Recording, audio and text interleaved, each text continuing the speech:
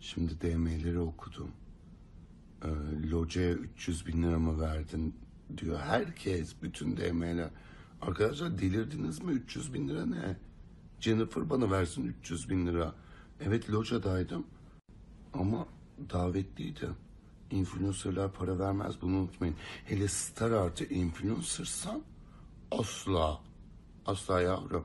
Biz pintiyizdir. Buradan sıkar buradan yalar bedava izledik. Düşünsene benim Jennifer'a 300 bin lira verdiğimi. Yemin ederim şu, şu an annem oteli basar Jennifer'ın takma saçını yolardı hırsından. Benim zaten ağzımda diş falan kalmazdı. Anam hepsini sökerdi.